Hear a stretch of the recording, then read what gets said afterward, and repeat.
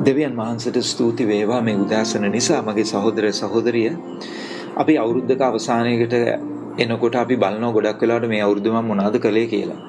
ඉතින් මේ අවුරුද්දේ ස්වාමින් වහන්සේ අපිට නියම කරපු දේවල් අපි අත්පත් කරගත්තා අපිට ලැබුණා. සමහර දේවල් තියෙනවා උන්වහන්සේ නියම කළා තිබුණා. උන්වහන්සේ සැලසුම් කළා තිබුණා. අපේ අලසකම අපේ කම්මැලිකම නිසා අපි වළක්ව ගත්ත බොහෝ දේවල් ඇති. මං එහෙම කියන්නේ ඇයි? හිතෝපදේශයේ 20 හතරවෙනි පදයට අපි අද දවසේ අවධානය යොමු කරනකොට ඒකේ කියනවා අලසයා ශීත කාලය නිසා හාන්නේ නැත. ඒහින් ඔහු ගෝයන් කපන කාලේ හිඟමින් කිසිත් නැතුව සිටී. මේ අලසකම ජීවිතයේ තියෙන බරපතල ප්‍රශ්නයක් මිනිසයන්ගේ.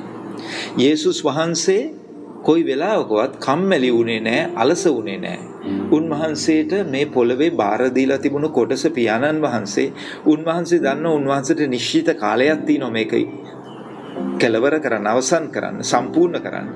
උන්වහන්සේ කවදාක්වත් කම්මැලි වුණේ නැහැ. ඔබගේ මගේ කම්මැලිකම අපේ ජීවිතය බොහෝ දේවල් අපෙන් වළක්වනවා.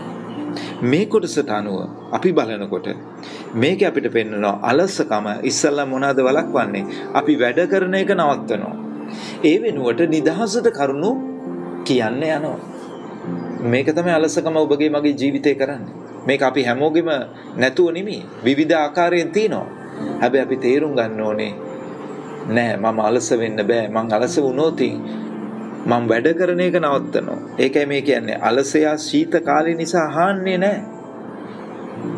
මාර්ගයේ පිටත හැම දවසකම එයාට සිංහෙක් ඉන්නවා.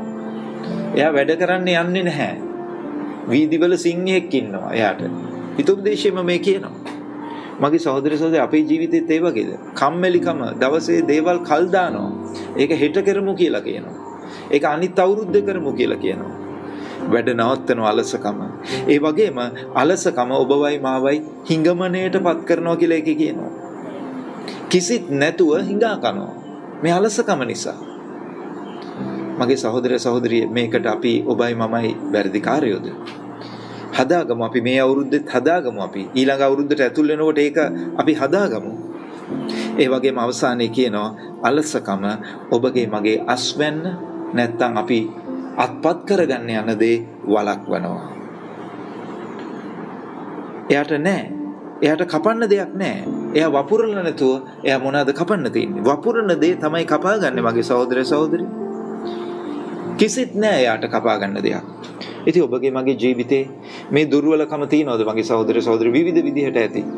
ඒක අපි හදාගමු ඊළඟ අවුරුද්දට ඇතුල් වෙනකොට ඊළඟ අවුරුද්දේ එලිපත්තේ අපි ඉන්නකොට අපි ඒක හදාගෙන අපි ස්වාමින් වහන්සේට ගෞරවය දෙන ජීවිතයක් ගත කරමු. මොකද යේසුස් වහන්සේ කොයි වෙලාවකවත් අලස වුණේ නැහැ. උන්වහන්සේට තිබිච්ච කොටස උන්වහන්සේ කරා උන්වහන්සේ ප්‍රතිඵල ලැබුවා. උන්වහන්සේ අස්වැන්න නෙලාගත්තා.